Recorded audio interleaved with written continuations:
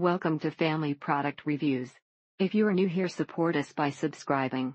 Today we will be reviewing the Plexaderm Rapid Reduction Cream Plus. New improved packaging. This is a good option if you have puffiness under the eye area you'd like to reduce. You may have to experiment with the amount of product needed in order to achieve best results. If you wear heavy moisturizer makeup keep in mind how it'll react with the product. You have to put minimal make on under your eyes by dabbing not rubbing it on water base works best. Also buy directly for Plexaderm you buy 2 get 1 free total cost for 3 is 119. The directions on the bottle explain that you have to pump for a while for the product to be dispensed. You can't put makeup over it unless it's water-based it tells you that in the instructions. However it does leave a pale pasty coat which can easily be covered with makeup. As for those who say it comes off if you put makeup on over it this is true. The commercial says it works in 10 minutes but for me it worked in about 30 seconds and it lasts all day. Skeptical and figured it was either the world's greatest scam or this was actually something that worked. And yes it needs to be pumped at least 5-10 times to prime it correctly. It really does work but it took some practice for me to get it right right. Perhaps it is not going to work on very deep wrinkles or extremely puffy bags under the eyes. Equally important is to be sure to apply the cream evenly over the entire area you are treating. It does work but as soon as water touches it the results go away but unfortunately as you got toward the bottom even though it looked like you had plenty left it would not come out. Works but sometimes you need to put a bit more on and pat a bit with water to smooth it. On men it is perfect but for ladies who wear makeup it is a little tricky. If anyone has an idea of how to make this better for makeup wearers please post it. What helped me so much was reading the good bad and the ugly about the product. Works fantastic but you have to wait 10 minutes for it to completely dry before makeup. You have to hold it upside down and tap it firmly on the palm of your hand for a while to force the product into the pump. Then hold your finger over the opening while you are pumping to help prime it. Place a small dot of Plexaderm under eyes and as seconds pass you feel it tighten your eyes. You only need to gently dab it on the areas you want to improve very little works wonders. Thank you for watching.